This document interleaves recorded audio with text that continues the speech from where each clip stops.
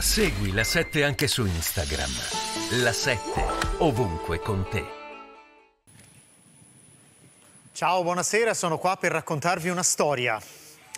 Questa sera è una storia che ha a che fare con le parole, questa specie di aria colorata che ci esce dalle labbra e che tuttavia ha sempre delle conseguenze, sempre, perché parlare è sempre scegliere se parlare e come parlare.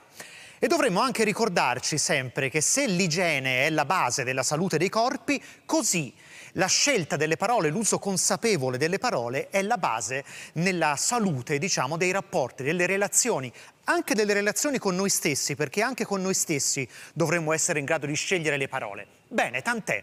Anno 1904, l'Italia decide di dotarsi di due transatlantici, transatlantici di lusso, che saranno fondamentali perché in quel momento dall'Italia un sacco di persone ricchi, poveri, artisti partono per gli Stati Uniti d'America per andare a cercare chi fortuna più, chi fortuna meno e soprattutto diverse declinazioni della fortuna. C'è bisogno quindi che noi, paese storicamente di armatori e di marinai, costruiamo due piroscafi e così facciamo.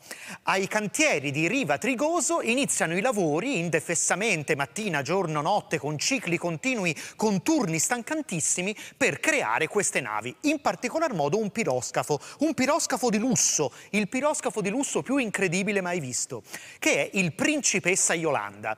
E piano piano la nave prende vita è gigantesca, 146 metri di lunghezza, due gigantesche eliche. Nella sala dei motori ci sono due motori come mai si sono visti e la nave è pronta, è pronta per trasportare 300 persone di equipaggio, 180 viaggeranno nababbi in prima classe, 150 in seconda e 1000 saranno coloro che fra i disperati italiani partono dall'Italia verso gli Stati Uniti d'America per andare a non morire di fame.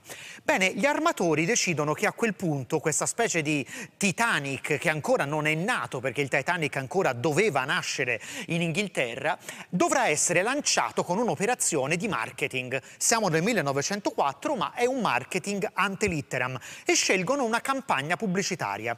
Un'agenzia pubblicitaria che farà manifesti, reclam, porterà alla stampa quel giorno in cui finalmente il principessa Yolanda affronterà per la prima volta il mare. 22 settembre 1904. Immaginati, dappertutto là sul molo ci sono autorità, c'è l'orchestra, c'è la banda, c'è la proverbiale bottiglia di champagne che viene lanciata sullo scafo, tutti quanti sono là a vedere, a applaudire il grande principessa Yolanda quando improvvisamente qualcuno dice ma mi sembra che si stia piegando un po' su un lato ed è vero, si sta piegando su un lato. Gli applausi piano piano scemano, la banda smette di suonare ed ecco che così in mezzo alle persone qualcuno dice dice no, è un bambino con la bandierina, mamma, ma per caso la nave va a fondo? Sì, la nave va a fondo, incredibilmente 22 settembre 1904 davanti agli occhi di tutti quanti il prodigio dell'ingegneria italiana se ne va a fondo là davanti agli occhi di tutti.